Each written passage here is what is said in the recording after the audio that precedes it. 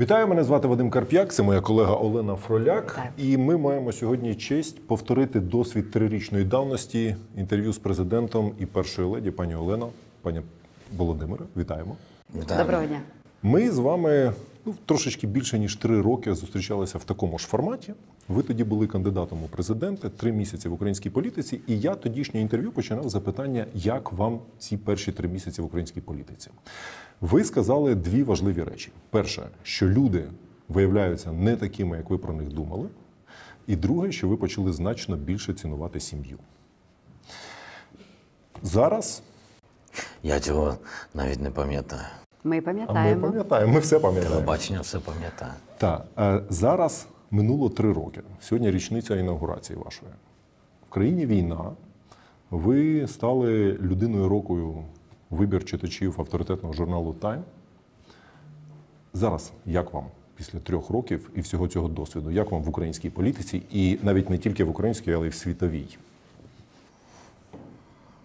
Для мене, для мене на сьогодні, я думаю, великих змін щодо цінності точно не відбулося. Велика світова політика для мене, перш за все, це місце України, і це правда.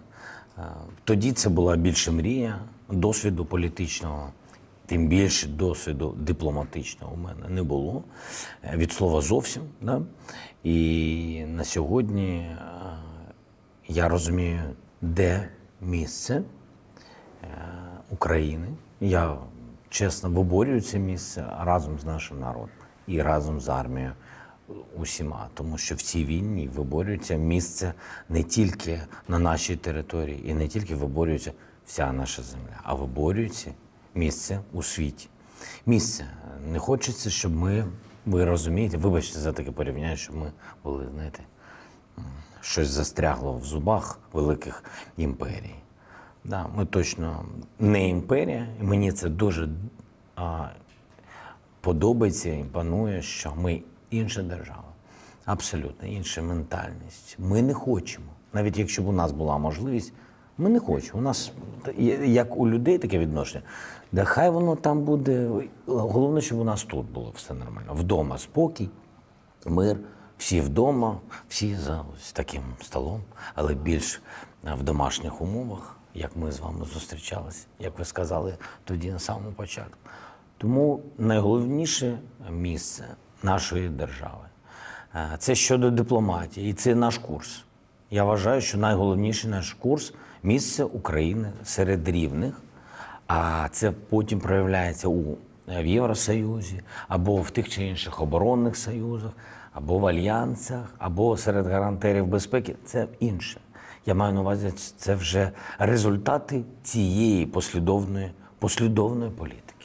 Війна, е, незважаючи на війну, послідовність е, цю я бачу, і ми йдемо цим шляхом. І на сьогодні е, я навіть до результатів цієї політики адресую результат щодо того, що ви сказали, людина року, то що це наші люди, вони люди року. Вся ця заслуга, заслуга наша, нашого об'єднання. Тому всі ордени, медалі, премії, назви вулиць чи площі, які адресовані мені, вони точно адресовані не мені, а адресовані всім тим людям, які, але не всім, а всім тим людям, які захищають нашу державу на кожен на своєму місці. Хто в Україні і хто її захищає. Це дуже важливий момент. Суспільство. Різниця, напевно, між громадяни і суспільство. Суспільство тут. Громадяни, хтось поїхав, хтось ще у кого хтось міняє паспорт. Це інші речі, я не хочу їх характеризувати. Е, Питання не про це було. І е, так я довго відповідав, вибачте, що. Нічого, ми відреагуємо. Що, що змінилось, бачите, і відповіді, напевно, враження, Так, я чую по відповідях, що змінилося. Багато речей е, змінилось. Я е, м, е, отримую задоволення від моменту. І що було вчора, і що буде завтра. Е, Ми зараз з вами, дружина поруч, ми з вами сидимо. деокупована Київська область, е, не взяли Донбас. Тобто з речами звичайними є речі стратегічні для мене як для людини і як для президента. І я від цього моменту отримую все, що можу. Задоволення від позитивних результатів нашої держави. Тому що я не можу отримувати задоволення від того, що хтось заблокований, комусь зле, хтось загинув, тощо. Але я живу сьогодні. І найголовніше, що я бачити став краще. Тобто з роками я став бачити гірше трішки, е, що стосується дрібниць. Але великі речі, мені здається, е, що далі, що ми хочемо, мені здається, ці речі я став бачити не краще, а в принципі став бачити. Пані Олено, якщо повертатись до того інтерв'ю три роки тому, я пам'ятаю, що ви були не в захваті від ідеї чоловіка балотуватись в президенти. Звичайно, зараз про щось жалкувати, напевно, непродуктивно. Пройшло три роки, дуже багато чого змінилося. На жаль, почалася війна. Як ви зараз відчуваєте ваші відчуття? Як змінилося життя вашої родини після війни? І як змінились ви особисто? Я також пам'ятаю нашу ту розмову е, і можу пояснити, чому в мене були тоді такі емоції. Мені здається, як е, будь-яка жінка, я розуміла, що нас попереду, нашу родину, нас вдвох і його очікують великі випробування, з якими нам потрібно буде якось боротися, жити. І вже ж, як будь-яка людина, яка хоче спокою, мені цього дуже не хотілося. Але так само я розуміла, що він з е, усіма випробуваннями може впоратися. Просто я знала, що це буде важко. Е, Легко не було, і зараз вже ж не легко. Ніхто не знав тоді три, три роки тому, що нас очікує найстрашніше випробування ця війна, яка почалася. І я не можу сказати, що щось дуже змінилося з початком цієї війни. Він як був надійним е, чоловіком і людиною, е, так він ними залишився. Його е, налаштування не змінилося, його точка зору не змінюється. І родина вже ж, як і всі українські родини, зараз роз'єднана. Ну, то Вас чоловіка чоловік, війна практично забрала. Е, Ніхто в мене чоловіка не забере, навіть війна. Але так він живе на роботі. Е, Ми його майже не бачимо. Е, Два з половиною місяці ми взагалі не бачилися. Так Е, спілкувалися тільки телефоном. Зараз у нас було кілька можливостей побачитися. І я вам також вдячна за цю можливість, тому що ми зараз проводимо час разом. Побачення в ефірі. Побачення в ефірі. Так, дякую вам. Е, Це така, знаєте, е, чудова нагода попити разом чаю. Магія телебачення. Магія телебачення. Дуже вам дякую за це. Не можу сказати, що наша родина дуже змінилася. Можливо, е, я змінилася. Це, це, це ти можеш про це сказати, але я щось не бачу. Ти прекрасно виглядаєш. А, Виглядаєте дуже добре. Е, Дякую. Тобто ми тримаємося, все добре. Е, В нашій родині ем, так само лад. На жаль, ми не можемо посидіти, повечеряти всією родиною, поговорити про всі справи, щось Ні, ну ми запланувати. говорили по телефону, а що ти зараз вечерюєш, що я Ну, вечерю. Ми розповідаємо. Ти просто не могла поділитися цим зі Вечеря по телефону. Тобто така у нас. е, е, Але я відчуваю, що щось ти не договорила, щось смачніше Щось все ж не таки ти. Да, я не доїв, мені здається. Ну, це, це все жарти. Тобто, ви бачите, все нормально, жартуємо, але дійсно чекаємо, як і всі, що можна буде е, об'єднатися знову, як і всі родини в Україні, які роз'єднані зараз, які чекають на своїх е, рідних, близьких, які хочуть знову бути разом. Перед тим як перейти до якихось таких важливих воєнних речей, бо про них я теж би хотів розпитати, Е, пане президенте, а чим ви найбільше пишаєтесь за час свого президентства до сьогоднішнього дня? От три роки президентства. Чим пишаюся? Ну, найбільше за ці три роки. Я думаю, що не- не- незмінна повага до, е, до наших людей, і, і, це не просто банальні слова, тому що люди, вони ж не тільки у війні, люди в мирний час, люди це оточення, люди це ті, кого ти бачиш І хто за тебе і заради кого ти. Тому е, люди, напевно, у нас. Я завжди вірив в українських людей, завжди вірив. І ця, ця війна, і, і ця міцність в об'єднанні, вона е, ще один або найголовніший доказ, і вже не тільки доказ е, моїх слів або моєї впевненості, а доказ всьому світові, що в нас такі люди. Я цим пишаюсь.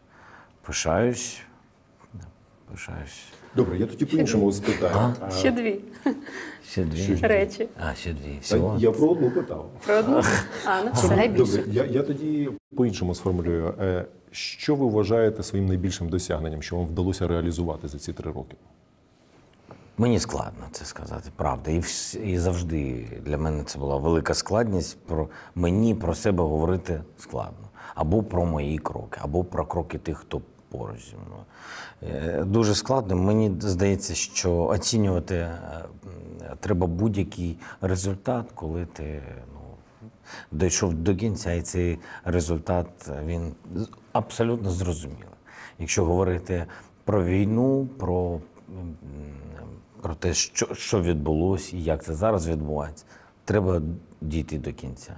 Я вважаю, незважаючи на е, те тепло і таку майже, майже таку як, літом, погоду, таку дуже теплу весну за вікнами. Ми бачимо в вікнах одне, але не бачимо, що за вікнами в інших містах є конкретна війна. І наша деокупована область нам говорить, що життя повернулось повністю знову, а інформація, яка є у мене, і є в принципі у всіх, да, і у вас, да, говорить про те, що війна в Україні є. І тому результат і оцінку того, що ми робимо, як це починалося і чим це закінчиться, можна сказати тільки тоді, коли саме це закінчиться. Ем, Я, я, я, думаю, сам, я думаю, саме так. Резонно. Тому нема сенсу питати і про ваші помилки найбільші, бо ви теж скажете, Ну, що ми ще не знаємо, виявиться це помилкою чи ні. Але я би ви про людей заговорили. Це те, що я би теж хотів спитати. Е, Пригадуєте оцю нашу, з чого я починав? Що три місяці в українській політиці навчили вас, що люди можуть бути зовсім не такими, як ви від них очікували. І зараз люди це найбільша цінність наша. Е, Ви опинилися зараз в ситуації, коли з вами залишилось дуже мало людей, які з вами починали ваш політичний шлях. Чому так сталося? Я думаю, що це прекрасний результат. Це правда. По-перше, це говорить про те, що мої, мої пріоритети е, це результат і досягати цього результату. І з, е, з тими людьми, які хочуть саме такого результату, і вони е, їх життя не вимірюється іншими цінностями. Тобто наші цінності співпадають щодо цих результатів. По-друге, ну, політика змінює людей. І як я просто так не хочу це банальне слово використовувати кумовство, але тим не менш, якщо я, я дійсно так вважаю, що немає дуже своїх і немає дуже чужих в політиці. Тому що політика вона змінює ситуацію і треба бігти. Війна також змінила. Не всі побігли далі. Хтось побіг в інший бік, хтось побіг в інший бік, а хтось там трішки далі, а хтось навіть за кордон побіг. І може навіть зараз біжить. Але це ж люди убігають е, від себе, перш за все, а не від України. Я впевнений в цьому. Тому е, залишаються надійні чи найнадійніші. І навіть деякі люди мене здивували, які залишились, ми залишились пліч-опліч, працювали. Здивували не тим, що я думав про них, що вони е, кинуть державу або свою посаду. Де ні, я, я, я навіть не вважаю щось дуже погане через те, що хтось е, показав слабкість. І... А, а може навіть це не слабкість, може це адекватність була. Не, я, я не можу зараз це оцінити до кінця адекватно, я в цьому впевнений. Тому що ми не знаємо ще раз, чим все закінчиться. Я та впевнений, що буде перемога. Я з цим живу з першого дня. Я в цьому впевнений, ми йдемо саме цим шляхом. Тут немає роздоріжжя і немає альтернатив. І тут у мене немає ніякої дипломатії. Зрозумілий курс. Навіть курс до Європейського Союзу, він, е, незважаючи на те, що результат і остання точка Європейський Союз, навіть до ЄС ми використовуємо різні шляхи, різні підходи, бо люди різні. То з Росією і з цією війною один курс, один шлях і одне розуміння е, всього того. Тому зрозуміло, чому і політика, і війна, і цінності, і напевно, і час. Час змінює людей. І вони змінюються і залишають, залишають тебе. Володимир Олександрович, я якраз хочу повернутися е, до війни і хочу згадати, коли ви стали Може, ви щось очікували від мене інше? Ви підскажіть. Прізвище? Діагноз. Я не думаю, що прізвище. Ви тут тільки один розсинхрон. Е, Ви кажете, що політика змінює людей, а пані Олена каже, що ви не змінилися. Чи це ви для неї не Може, я не політик просто. Ну, ти не до кінця політик просто. А ви не відчуваєте себе політиком?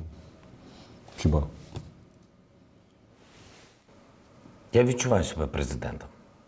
Точно. Це прекрасна відповідь. Мені здається, це навіть ваш великий плюс, що ви не до кінця політик. І мені здається, що саме зараз, коли в країні війна, мені здається, це дуже великий плюс, що ви не до кінця політик. Але давайте повернемося до того часу, До коли ви стали політиком. Давайте. Я дуже добре пам'ятаю слова Володимира Олександровича, коли ви стояли на трибуні Верховної Ради і казали, що не ми цю війну почали, але нам її закінчувати. Але тоді ви вірили в те, що її можна закінчити дипломатичним шляхом. Сьогодні, коли йде широкомасштабна війна, і страшна війна, і страшні руйнування, зрозуміло, що так не буде, і дипломатично ми цю війну не переможемо. Переможемо її тільки на полі бою. Коли ви вперше це зрозуміли, коли ви це відчули, і чому ми її не переможемо дипломатично? Коли я це відчув, якщо можна, я сьогодні не буду вам відповідати на це питання. Залишимо Я наступний. точно розумію, коли порозуміння це до мене прийшло, і точно я розумію, який я вибір зробив, і точно розумію, до чого я став, як відноситись і до чого готувався. І тому я вважаю, що це відповідь не для сьогоднішнього дня. Але тим не менш, дійсно, е, зміст слів, про які ви зараз сказали чи згадали, е, він змінився. І не ми починали, це є правда, але нам закінчувати війну. Я можу сьогодні повторити ці слова, це все є правда. Але зміст інший, так і є.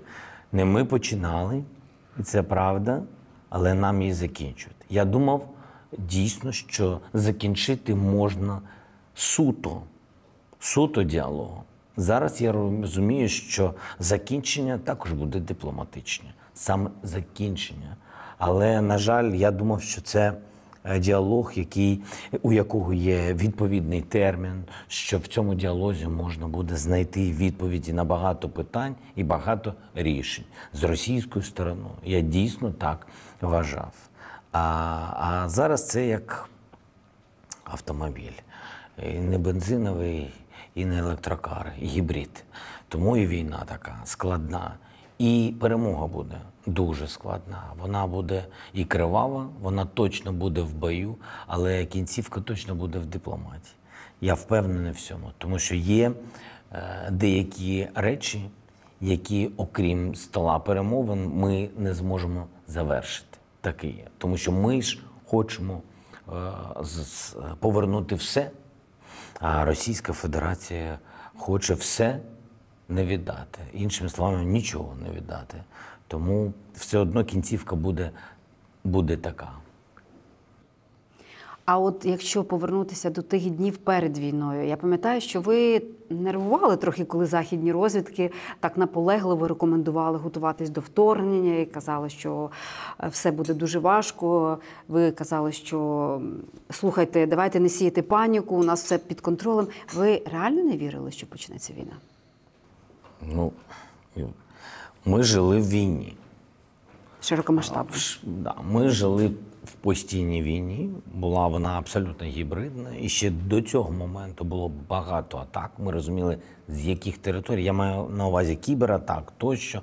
Ви пам'ятаєте, вирубували нам різні сайти і Національного банку, і міністерств. І Я вже не хочу говорити про правоохоронні органи і про нашу розвідку, що відбувалося, який був тиск. Він був задовго ще до початку повномасштабного вторгнення Росії в Україну. Ми розуміли, що відбувається підготовка та чи інша. Обсяг, чи об'єм, чи нахабність да, того, результат чого ми побачили з вами, ні- ніхто не розумів. До, до, до кінця. Да? І е, од- од- одна справа, якщо коли ти розумієш, що з боку Білорусі, напевно, підуть танки. А інша справа, що починається з ну, е, е, що Росія піде скрізь Білорусь на тебе. Да? А інша справа, коли конкретно з, з Білорусі конкретно летять ракети. Да? Тобто така, така різниця, але вона здається, що невеличка, що попереджали або були меседжі, що з того боку може початися технікою наступ. Але різниця велика. Ти воюєш з ким? Ти воюєш з, е, з тими, тими силами та засобами, які на території Білорусі, які переходять скрізь Білорусі йдуть в Україну, або ти воюєш з двома країнами. Дьявол в деталях. Тому ніхто до кінця, що відбувається до цього, до кінця ніхто не знав. Це все є неправда. Які б вам розвідки чи нам розвідки не говорили, деталі ніхто до кінця не знав. Всі готувались до різних заходів. У нас була своя підготовка. У різних розвідок різних держав, наших партнерів була, була своя підготовка і свої попередження. Більше деталей, ніж е, знали ми, і ніж володіли ми. Ні у кого не було. Ні у кого не було. Нічого більшого не виявилось, ніж те, про що нам говорили. І приблизно навіть. Е, Ну, така гі- гібридна. Ну, про це можна говорити нам, е, чесно кажучи, годинами, як це відбувалось. Я би почав цю, цю розмову і про цей наступ з жовтня місяця, якщо чесно. Я так вважаю. Те, чи, те, як ми готувалися, те, що відбувалося, які були меседжі, які були кроки перші економічні, фінансові, кібер, блокування, дефіцит бензину, як це відбувалося, зменшення обсягів енергоносіїв тощо багато. Я почав вересня, жовтня, отак. То, хоча, в принципі, е, справедливо починати з 2014 року, але про повномасштабне вторгнення я вважаю, що все це е, такий е, арт, гібридний арт-обстріл, він почався ще восени. Але широкомасштабний наступ почався вранці 24-го. І я би хотіла вас двох спитати. Знаєте, зараз українці, коли зустрічаються, і перше питання: а де тебе застала війна? Де ти був? Що ти робив? Одні на Кіліманджаро, другі в Мексиці, треті вдома. Е, Я не знаю, мені позвонили з роботи, і ви знаєте, я на автоматі пішла робити каву в четвертій ранку. От війна війною, а каву треба випити. Ви згадуєте це четверта ранку, 24 Можете двоє розказати? Перші емоції, перший дзвінок. Ми, як це було? ми треті. Ми не були на Кіліманджарі. Ми були Ми вдома. були Ми треті. да. Да. Я, я теж. Я теж вдома Ми була. всі були вдома. Якщо ми всі вдома, хто ж був з українців на Кіліманджаро. Слухайте, були, ну, є такі Були, герої. да. Ну, о четвертій ранку зазвичай ми, ну, я каву не готую. Е, Зазвичай це так. І, ну, Я пам'ятаю, що я прокинулася від дивних е, звуків за вікном, як усі, мабуть. Е, темно була ж майже ніч тоді. І я дивлюся, що е, Володимира е, поруч немає. Я пішла до сусідньої кімнати, знайшла його, він вже був одягнений в костюмі, але без кроватки. Ну, вже ж я зрозуміла, що ну, запитала, що відбувається. Він сказав тільки почалося. Ну, емоцій не можна передати, тому що тут і жах, і заціпаніння. І він це мені сказав і пішов. В принципі, ми більше не можна сказати, що бачились довго. І, чесно кажучи, я розумію, що як наскільки в той момент він був як натягнута струна, ми всі одна, одразу зрозуміли, що в принципі життя змінилося е, назавжди. І от тепер я живу тим, коли він мені нарешті скаже, ну все, скінчилося. Цього Е, всі чекають. Перемога, так. Я вважаю, що можливо, це е, я буду не першою, кому він це скаже, тому що він завжди зараз на роботі. Але разом з іншими хочу почути це хоча б по телебаченню. Скажеш? Впевнений в цьому. Будемо Ось чекати. такі люди будуть вам говорити. Через, через них вся інформація проходить через телебачення. Хлопки у нас були чути. Да, це правда. Я вже був, був Олена абсолютно права. Я вже був готовий. Я виходив, я отримав дзвінки до хлопків, які ми почули. Ми отримали, я отримав сигнал трішки раніше, коли почались постріли. Навіть навіть трішки ще раніше, напевно, да. Коли починається підготовка, тобто ми були не готові і до цього за а, деякий час тому слідкувала розвідка, слідкували військові. Ми розуміли, звідки може бути ризик а, наступу. Тому одразу, коли там пішла підготовка е, постріли для вторгнення, ми я отримав сигнал, мені подзвонили. Я Е, Приїхав. Пам'ятаю тільки одне, що я. Олена, в принципі, все сказала, що сказав, треба, треба дітям все нормально е, Пояснити. пояснити, тому що це війна. Не треба нічого вигадувати. Тому що всі повинні розуміти, як себе вести, тому що війна. Ось і все. Ми до цього ми я, дуже пізно я приїхав додому, я пам'ятаю, тому що у нас було засідання, мені здається, і Рада національної безпеки і оборони засідала. Да, ми обговорювали і ці питання, і всі разом підготовлено було е, всі папери і структура, що ми будемо робити. Ми розуміли, що якщо почнеться, як повинна працювати держава як один організм, Е, де хто повинен бути, щоб е, забезпечити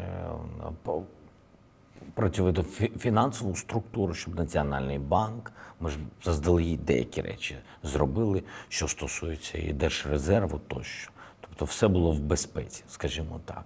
Тобто Ми розуміли ризики. І тому була зрозуміла структура. Це була, мені здається, це було за день до цього. Що мені так здається, не пам'ятаю вже зараз, чесно. Як, як, Але дітям пані як Олена пояснювала, так? Ну, їм потрібно було щось пояснити, коли ти їх е, розбудив в четвертій ранку і сказав, на всяк випадок, давайте зберемо речі. Але вони якось вони мене навіть здивували. Ну, я намагалася бути е, енергійною, веселою, нібито нічого такого не сталося. І вони якось дисципліновано виконували всі мої вказівки, швидко збиралися. А вже ж потім, вже через якийсь час приходить розуміння того, що не знаємо, коли побачимо тата знову, і були такі і сльози е, кілька разів. Але все ж таки вони тримаються молодці, е, як тато. Знають, що він витримає, і вони витримають. Пане президенте, раз ми вже заговорили за 24 лютого, а наскільки ми були готові в воєнному сенсі до е, цього дня? Тому що я, наприклад, я живу в Бучі. Для мене стало сюрпризом, як швидко російські війська опинилися в Бучі. Фактично під Києвом, там кілька кілометрів до межі міста. Ми готові були до цього? З точки зору, я скажу вам, об'єму тих сил, які застосувала Російська Федерація, використовуючи абсолютно все, використовуючи навіть резерви, використовуючи е, е, таку, знаєте, тиху, тиху, ми це називаємо тиха мобілізація. Вона була не гучна. Чому? Тому що мобілізація це коли війна. Війну вони нам не могли об'явити. Вони сказали військова операція. Тому ми знаємо, що і була і тиха мобілізація тощо, і багато вони перекинували військ зосередження було і в Криму, і в Білорусі, в різних напрямах. Єдине, де ми не бачили збільшення великого, це Придністров'я. І, а так ми, ми все це бачили. Уздовж кордонів нічого нового не відбувалось, воно як було. Коли було навчання, тоді вони зосередили велику кількість. Ще за рік до цього так воно і не збільшувалось. Воно відходили, ротації, приходили тощо. Це дійсно такий великий, великий об'єм. Е, Я думаю, що на сьогодні з таким об'ємом жодна країна Європи не впоралася. А те, що вони заходили, дивіться, це складно сьогодні оцінити. Хоча військові, е, в принципі, і військові і аналітики завжди говорили, якщо це буде повномасштабне вторгнення, чому в принципі Україна не готова до повномасштабної війни з Російською Федерацією? Тому що а, просто ми в 28 разів е, менше по території, хоча при цьому країна велика. І коли на тебе наступає велика армія, треба ти не можеш зосередити сили навколо, наприклад, Києва. Тобі треба е, дивитись і забезпечити і ППО, скільки б його не було, ППО, танки, техніка, БМП тощо, військові, найголовніше професійні кадрові військові, які сильно відрізняються, як би то не було. Ми вдячні ТРО, але ми розуміємо різницю, і вони це розуміють. Це самі ТРОшники. Тому вся ця кількість людей, вся ця кількість техніки, воно як, вибачте, порівняння, як, як воно розмазано по всій цій території. Все одно так воно і є. Тому що таку територію нам по нашим цифрам нам потрібна армія не 250 тисяч або 260 тисяч, а бойових там було 120 тисяч. Да? От я написав перший указ. Ой, не пам'ятаю на початку а, 22-го року, що ми, коли я бачив всі конкретні вже цифри, е, є у нас гроші, немає грошей, але плюс 100 тисяч на наступний рік. Це був мій указ. Е, Але навіть плюс 100 тисяч не, не змогли би зупинити їх. Не змогли би. Тобто на сьогодні ми розуміємо, що сьогодні це 700 тисяч. Ось ви бачите результат роботи 700 тисяч людей, які воюють. 700 тисяч. Тобто, ну ось і все, щоб захищати таку територію. Але е, тим не менш, це у момент війни. Да? Це те, що сталося. Тому я думаю, що так, а вже ж якщо б у нас були, якщо б ми були, скажімо так, я не хочу зараз обговорювати глибоко питання НАТО, я маю на увазі, але в країнах НАТО є відповідна зброя, є Петріоти тощо, є серйозні там ППО, да, які спроможні захистити небо від тих перших ракет, ракетних ударів, завдяки яким ми і втратили, до речі, і ППО, і тощо, і люди стали бігти. Пам'ятаєте, невеличкий був такий хаос, машини, пробки, машини кидали. Це ж все допомагало ворогу, а не навпаки. Е, Тому е, чи можна було підготуватись до цієї війни? Я вважаю, що ми були непогано підготовлені. Вони не знали про багато речей, і потім вони отримали все це.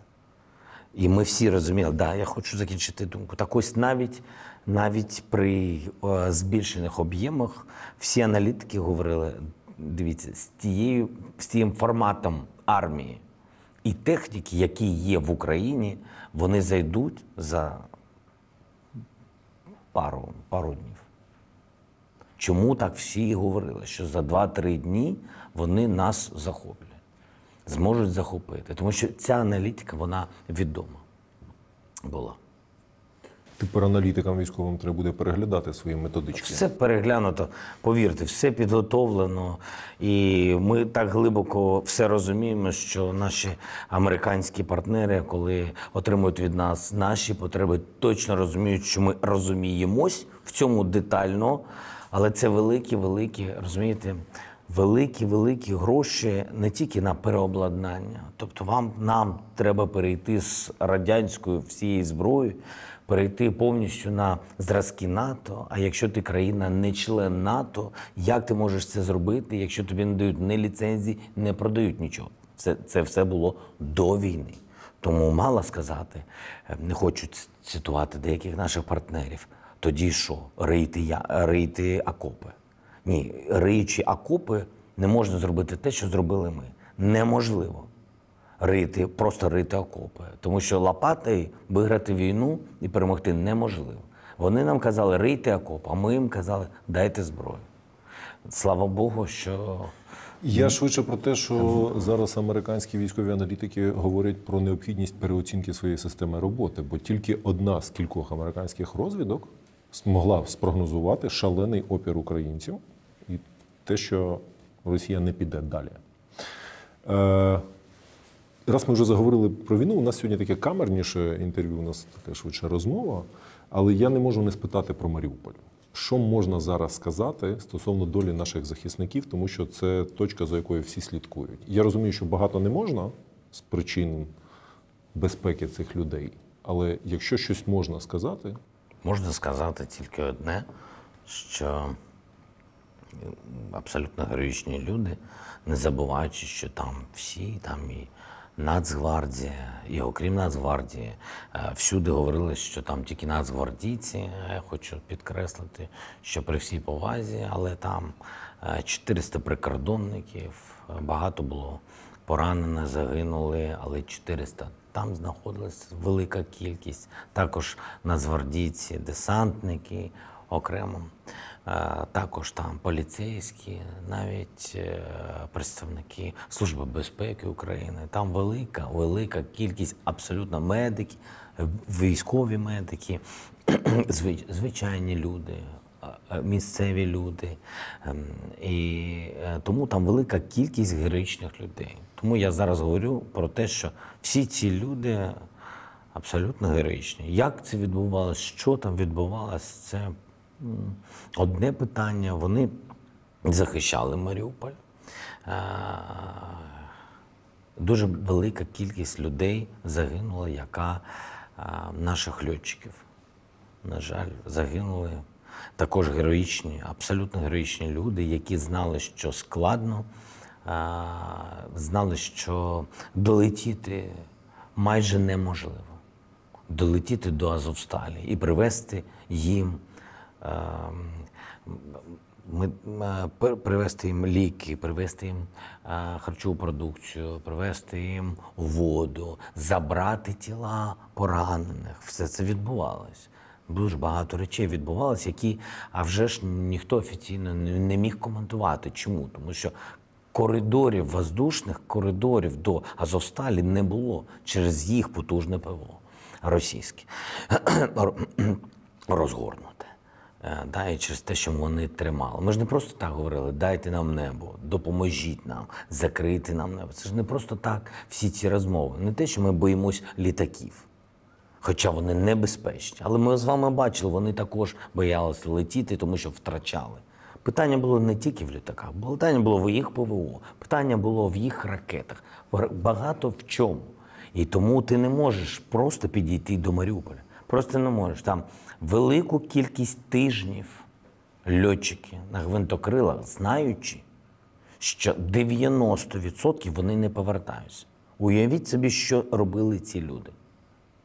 Вони летіли туди. Ми втратили багато льотчиків. Просто є люди, які летіли давати їм їжу, воду, зброю. І забирали поранених. Втрачена велика, ну, багато людей. Вони абсолютно героїчні. Тому я, коли ми говоримо про Маріуполь, я і хочу, щоб ми говорили про всіх. А, і що далі? Далі на сьогодні вивезено всіх цивільних людей, ті, хто були заблоковані на заводі. А Евакуація інших цивільних людей, які були е, біля заводу або які були в Маріуполі, вона розпочата давно вже. Цивільних вивезено, медиків вивезено, вивезено е, важко поранених, вивезено поранених. На цю мить, коли ми з вами говоримо, я знаю, що відбувається також вивезення. Е, Мені здається, що е, найближчим часом, навіть не днями, я думаю, часом завершиться вивезення всіх. Ну, подивимось. Структура складна. Домовлялись про те, що розблокуванням буде займатися посередники, е, західні партнери. Я домовлявся з Туреччиною, Швейцарією, з Ізраїлем, спочатку з Францією, через стосунки лідерів з Російською Федерацією. Коли ми бачили, що військовим шляхом розблокувати неможливо. Хоча, чесно скажу, я повірте мені, ну, ну я не знаю, десятки, сотні разів. Я детально проговорював з лідерами інших держав надати мені відповідні, відповідну зброю нашим військовим, щоб військовим шляхом ми дійшли до Маріуполя заради того, щоб розблокувати цих людей. І люди, які готові йти, готові йти були, вони також були 90% впевнені, що можуть не повернутися. Там абсолютно велика кількість людей, е, таких е, героїчних, які хотіли допомогти максимально. Ну, є те, що є. На сьогодні е, хлопці від військових отримали е, сигнал, що вони мають повне право повне право вийти і зберегти своє життя. І, е, військові, військове командування вони передали все це всім заблокованим на Азовсталі. Посередником разом з тими країнами, про які я, про які я сказав, е, реально були представники ООН. Ми домовлялися з генеральним секретарем Гутерешем.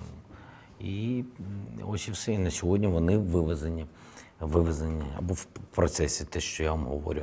А далі все залежить від, від того, що на себе брала ООН, Червоний Хрест, Російська Федерація, що вони будуть всі в безпеці і будуть очікувати того чи іншого формату обміну. Тобто на сьогодні, я думаю, так, закінчиться процес, яким керує сьогодні розвідка цим процесом. Вивезення, виведення і підготовки до діалогу, до обміну тощо. Це про те, що ви, е, коли ставимо ми питання, чи е, тільки військовим шляхом, або є ті чи інші дипломатичні кроки. Війна, і тому є такі випадки, де потрібно, щоб працювала дипломатія також. Будемо забирати їх додому. Це те, що ми повинні зробити, повинні разом з тими партнерами, які брали на себе відповідальність.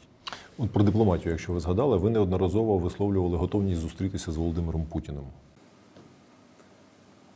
Яка мета цієї зустрічі? Ви вірите, що ця зустріч може закінчити війну? Я думаю, в залежності від моменту, коли ми будемо зустрічатися. Мета змінюється. Як і гібридна війна, так чесний гібридний буде мир.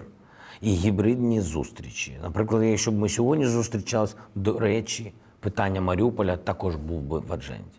Якщо ми будемо зустрічатись за два місяці, три, може цього питання вже не буде. Може ще буде. Ми не знаємо. Може буде частково тощо. В самого початку, якщо б ми зустрічались, ми розуміємо, в якому положенні була Україна. Якщо ми будемо зустрічатись сьогодні, ми знаємо, що окуповано, що де окуповано. Якщо ми будемо зустрічатись за два місяці, ми не знаємо, в якому стані все буде. Ну, ми можемо передбачати, що ми будемо робити, і передбачати, який буде результат. Але це також, ви розумієте, це, це так, подивитись трішки в майбутнє. Це точно не про реальність. Реальність вона сьогодні, зараз і тут. І тому вирішувати питання щодо обміну, щодо деокупації і щодо миру, да? зупинення війни. Ось і вся адженда.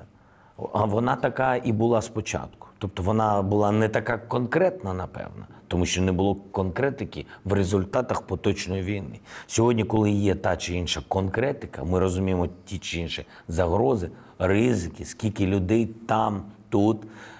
Від нас багато речей залежить. Але багато речей залежить від Росії. Не говорячи з ними, ми повинні тоді констатувати просто на той результат, в якому знаходимося. От дійшли сюди. Ну і стоїмо, чекаємо або стріляємо. Зараз нас за- завтра нас, наприклад, артилерією накрили, відступили. Післязавтра пішли знов вперед. Тому е, питання, питання у нас, у нас є бажання і є свої цілі. Так, ми хочемо повернення територій і хочемо е, закінчити цю війну. Але як це буде? Коли це буде? Залежить від сам, саме від цього, від часу, коли буде розмова з Путіним. Е, Думаю, що розмова України і Росії вона точно буде. Ми не знаємо в якому форматі. З посередниками, без посередників, в широкому колі, на рівні президентів, дво- дво- двостороння розмова, або в широкому колі. Дивлячись, от, наприклад, я вам наведу такий приклад, чи я багато говорю? Ні? Я не багато? Тобі можна? Дякую. А, наприклад, гарантії безпеки важливий предмет, важливий договір, важливий документ. І важливо, щоб він був не папірцем, а реальністю. Також, да? щоб він нам допоміг у майбутньому, нам, дітям, іншим лідерам держави. Щоб це був такий базіс, на якому який є основою безпеки держави і суспільства України.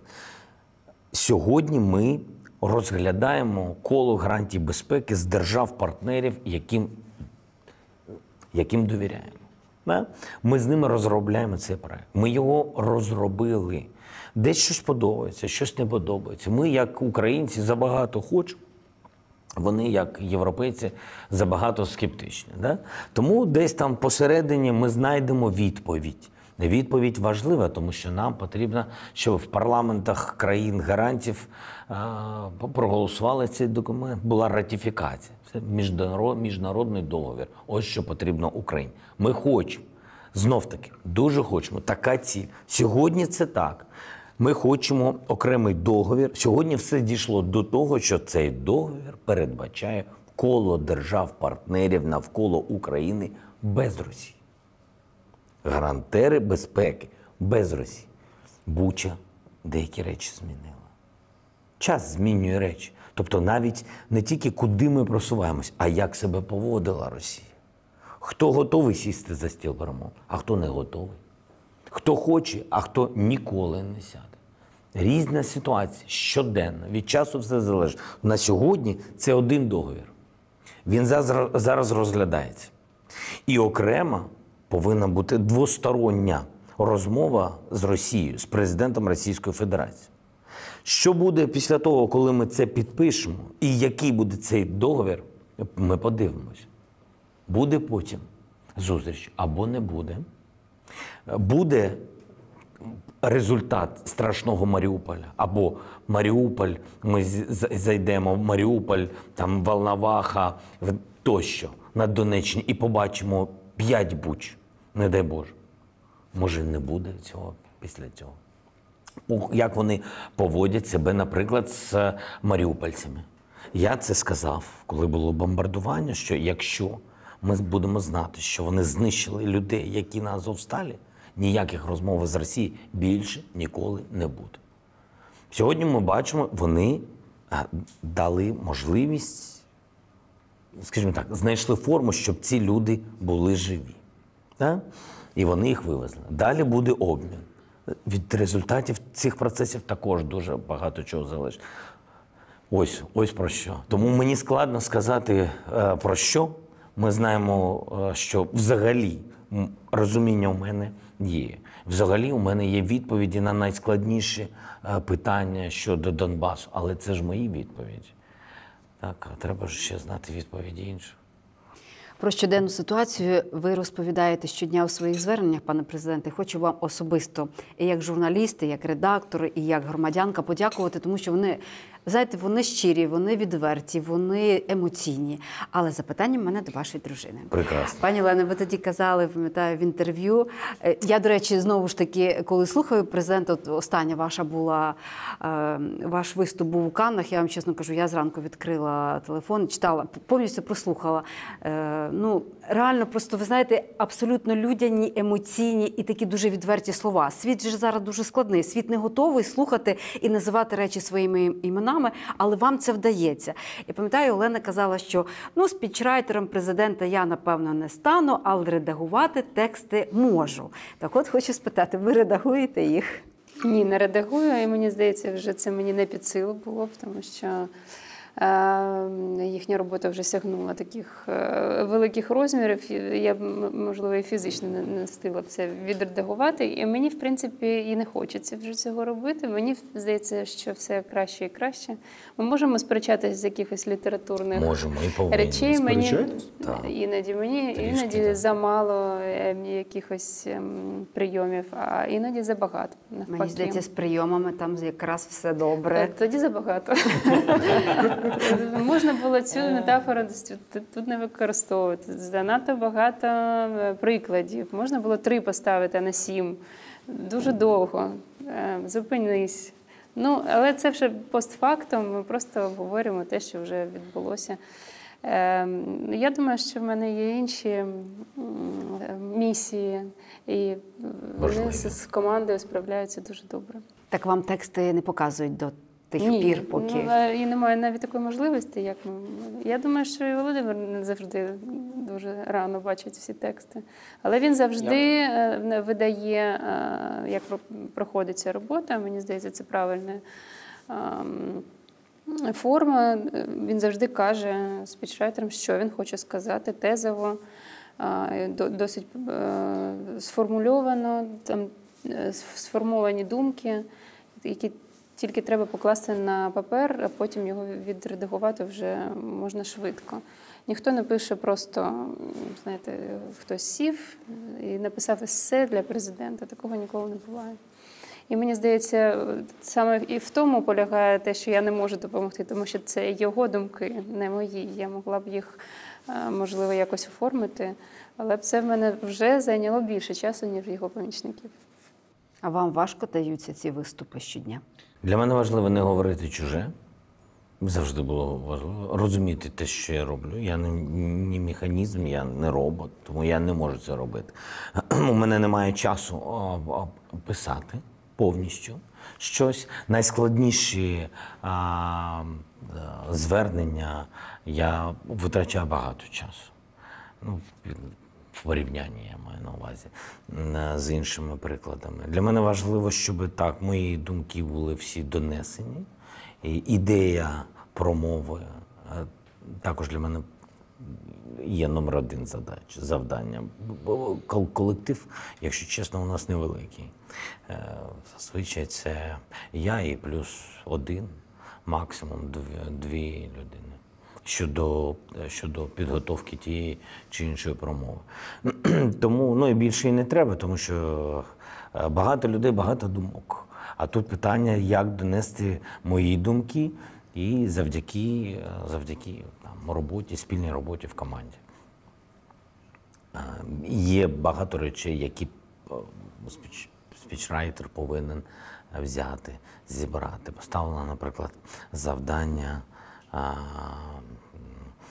Результати роботи Кабінету міністрів, результати роботи того чи іншого міністерства з приводу того чи іншого завдання. І треба отримати і ці цифри, і правильно сформулювати їх, і так людям їх передати, щоб вони були зрозумілі. Люди розумні у нас, але якщо ти щоденно не ну ти не для ну цим не живеш цією професією, да, або цим напрямком енергетики.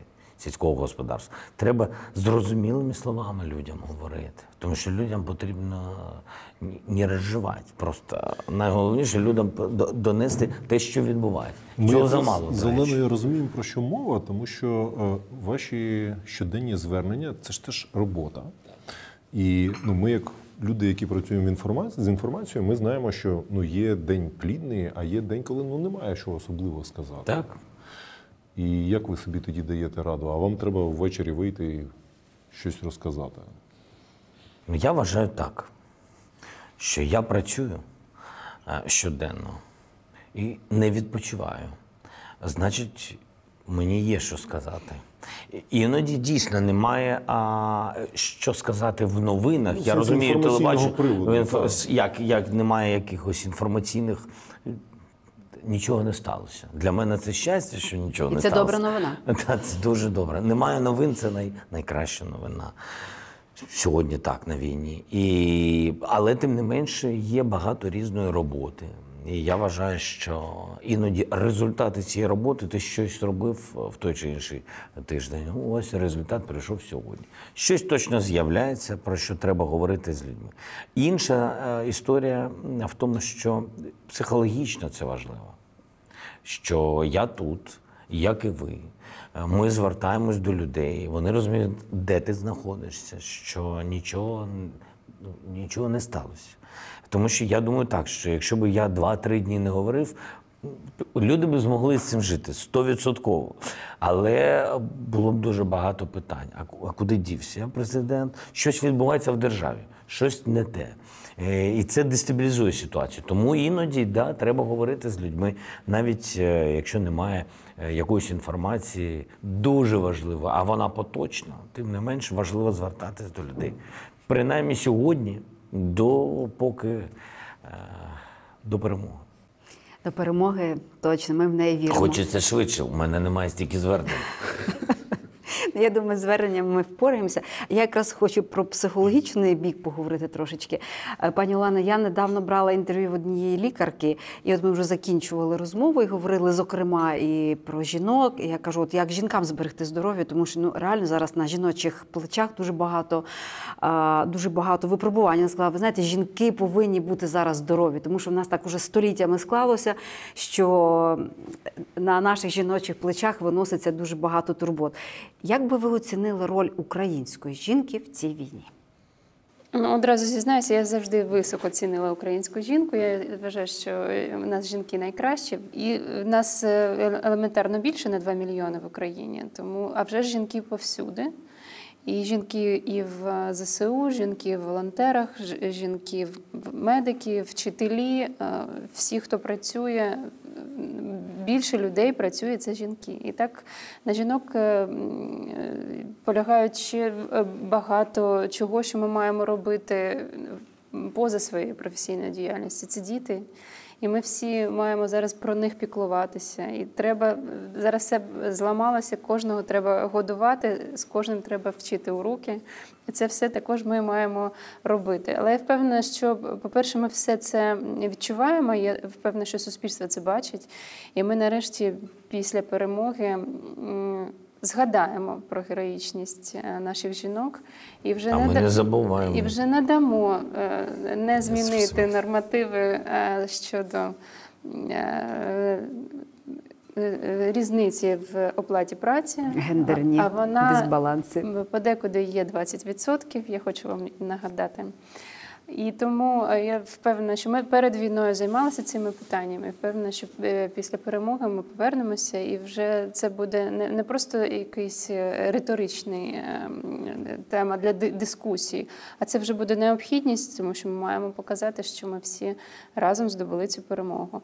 Ну і окремо про здоров'я, мені здається, це важлива дуже тема. І зараз я розпочинаю великий проєкт з цього приводу. Це національна програма психологічного здоров'я українців в цілому. Тому що не хочеться там е, наврочити, не хочеться казати про страшні наслідки війни, але ми всі отримуємо психологічний тиск. Майже кожен з нас, ми в цьому впевнені, може мати психологічні проблеми і під час війни, і після її закінчення. Є окремі е, е, частини населення, які е, най. е, більше, на яких найбільше впливає війна. Це діти, це літні люди, це люди, які втратили е, будинки, свої домівки, люди, які втратили близьких. І це а вже ж військові, які повертаються з війни. І це е, посттравматичний е, розлад, який очікує на велику кількість людей після війни. Якщо ми зараз нічого не зробимо е, глобальної е, системи психологічної допомоги, зараз ми мали це розпочинати, чесно кажучи, ще вчора. Але ми можемо мати великі погані наслідки не тільки одразу після війни, а, а можливо і через 10 років і далі. Всі ці погані наслідки нас очікують, якщо ми зараз нічого не зробимо. То ми е, зараз розгорнули.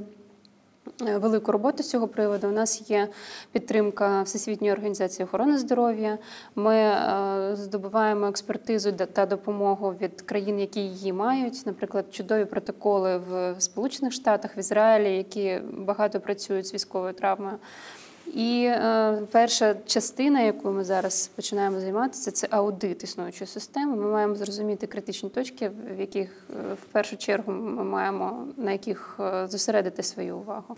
І нам з одного боку це велика проблема, з іншого пощастило тим, що mental health і е, взагалі психічне здоров'я це основна тема на майже всіх майданчиках дискусійних усього світу.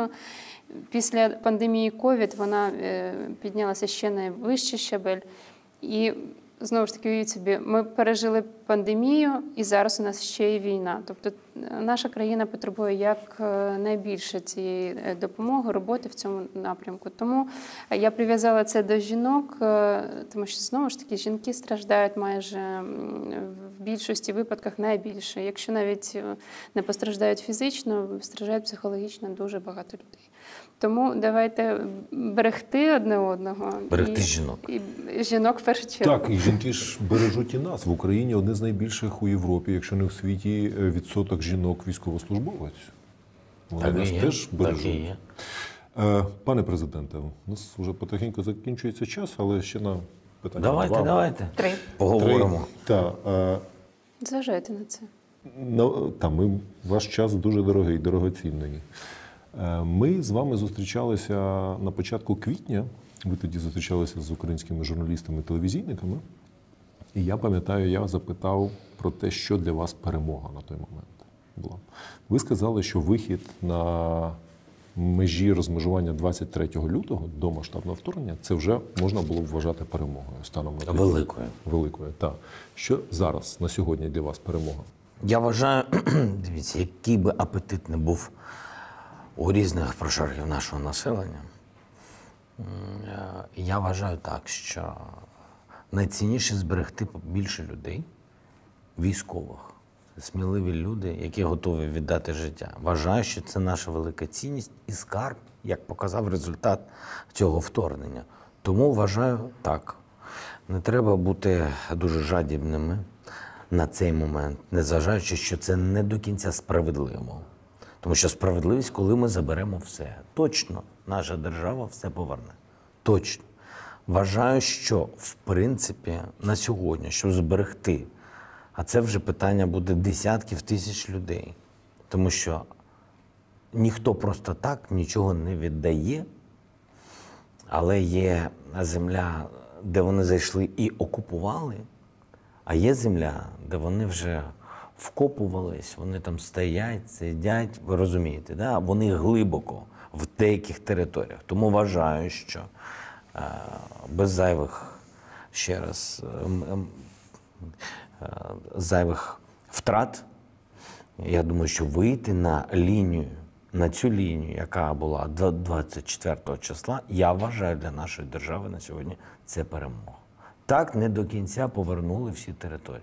Не все так просто, так є. Але я вважаю, ну, ми ж повинні з вами дивитися ціну цієї війни і ціну кожної деокупації.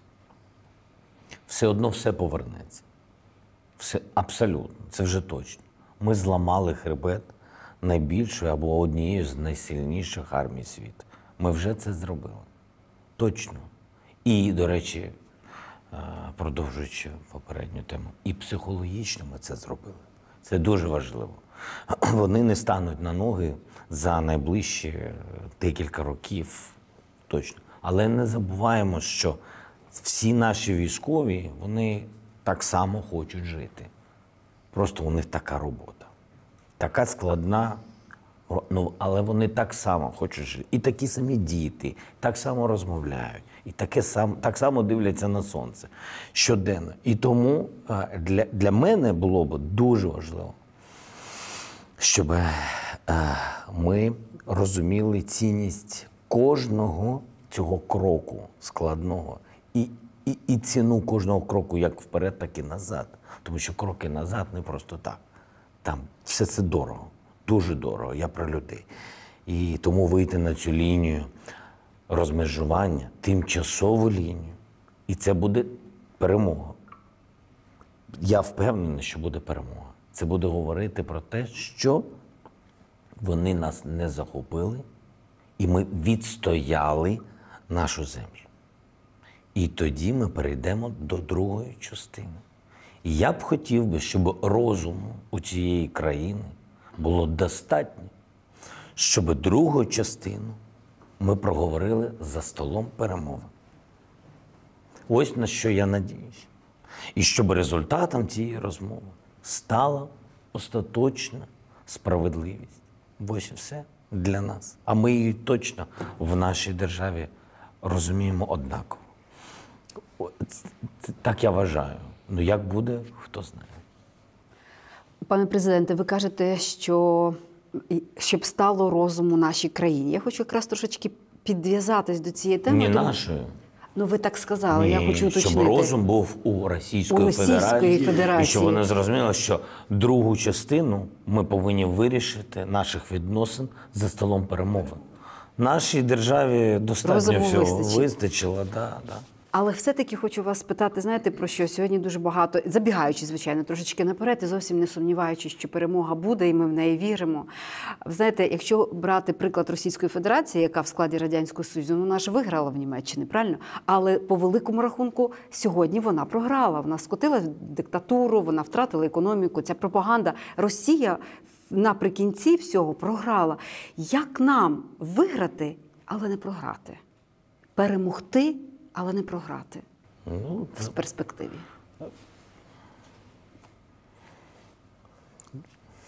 як нам перемогти, а не про. Я вважаю, що якщо ти переміг, ти не програв.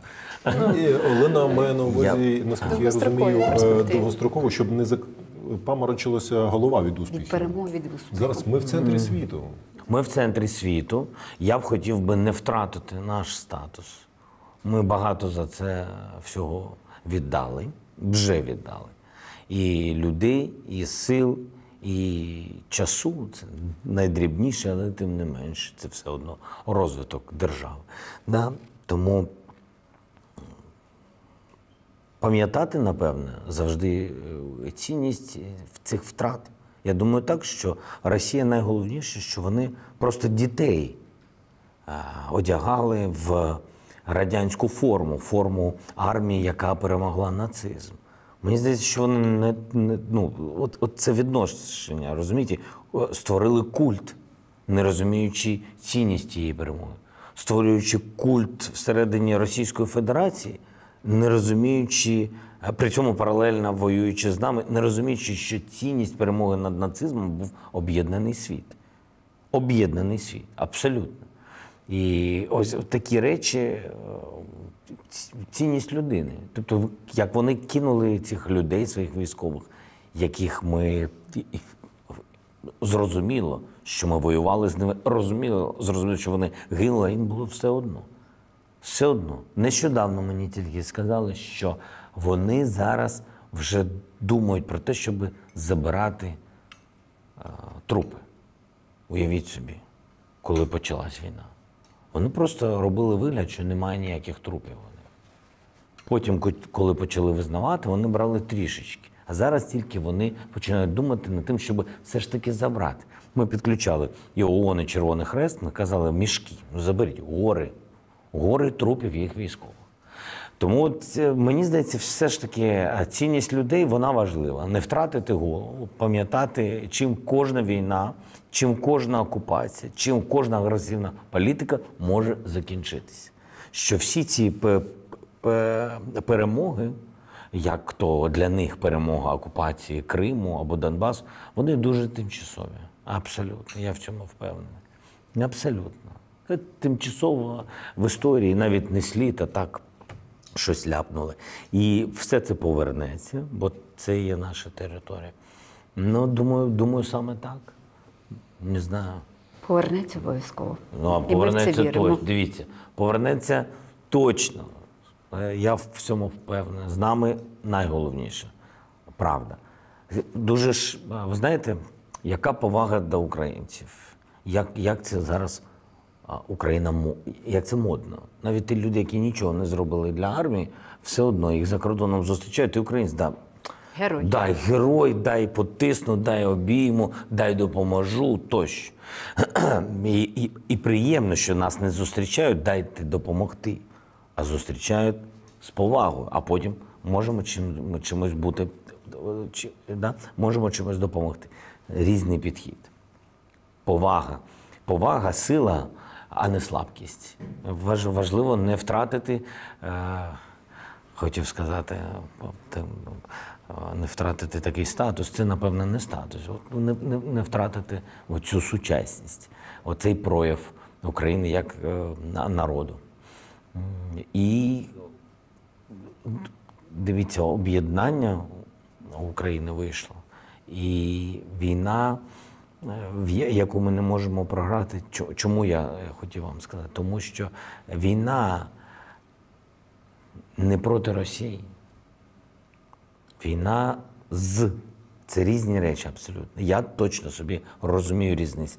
Це війна не проти Росії, війна з Росією за Україну. Це вже говорить, що у нас правда. Ми за своє воюємо. Важлива, це сильна дуже позиція. Ти не агресор, не кудись там прийшов. Ні, ні. Я за своє, але з тобою. Війна за незалежність е, не можна програти за незалежність України, за нашу свободу і суверенітет. Все за своє.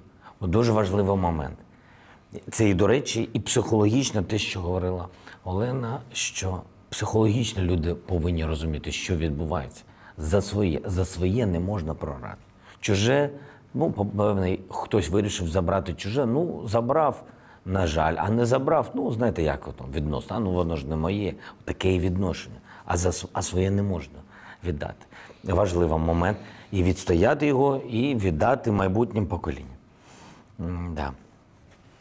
Дякуємо вам. Дякую. Дякую. Слава Україні! Героям слава.